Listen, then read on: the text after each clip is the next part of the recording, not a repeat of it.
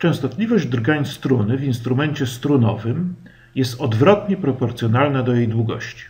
No może przypomnijmy, że drgania struny są właśnie źródłem dźwięku, a częstotliwość drgań mówi o wysokości tego dźwięku, jak on jest odbierany przez ludzkie ucho. Czyli im większa częstotliwość, im więcej drgań, tym wyższy jest dźwięk.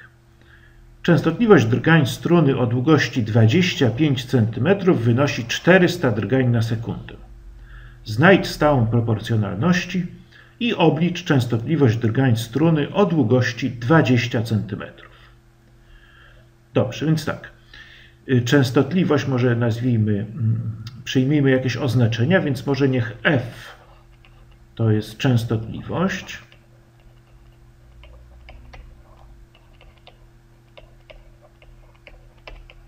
drgań. Czyli ile razy ta struna na sekundę nam będzie drgała.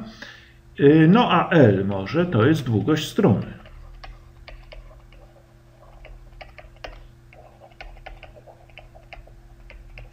I co my wiemy? Częstotliwość, czyli F, jest odwrotnie proporcjonalna do długości, czyli F to jest pewien współczynnik razy 1 przez L.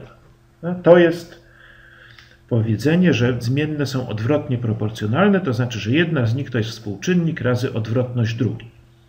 No dobrze, i teraz wiemy, że częstotliwość drgań struny o długości 25 cm, czyli jeżeli L jest 25, wynosi 400, czyli 400, częstotliwość 400 to jest K razy 1,25.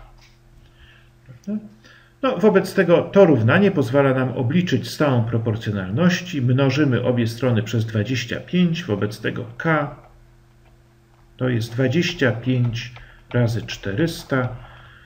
No i to jest 4 razy 25 to jest 100 i jeszcze 2 zera, czyli to jest 10 tysięcy.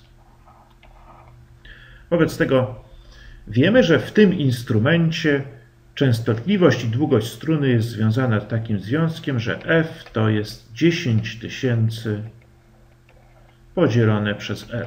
Prawda? Gdzie to L jest w centymetrach, napiszmy, jednostki są ważne, no a F to jest częstotliwość, czyli ilość na sekundę. Częstotliwość drgań, czyli ilość na sekundę, powiedzmy.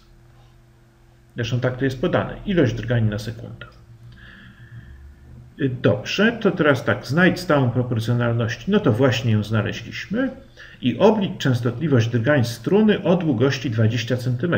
No dobrze, czyli ta nasza nieznana częstotliwość struny o długości 20 cm, no to jest 10 tysięcy podzielić przez 20.